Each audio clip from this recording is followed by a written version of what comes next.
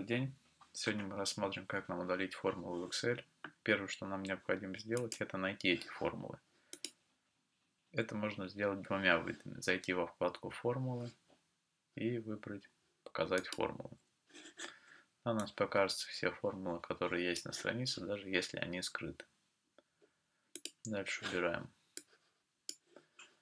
Теперь нам необходимо удалить формулу. То есть мы можем просто ставить как значение за место формул.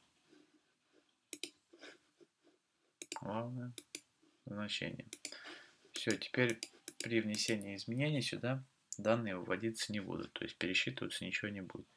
И второй вариант удаления формул это выделить весь лист, зайти F5, выбрать выделить и выбрать формулы. Окей.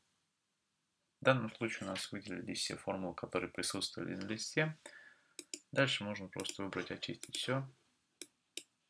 Да, тем самым убрав все формулы с листа. Какой из вариантов вам ближе, выбирайте сами.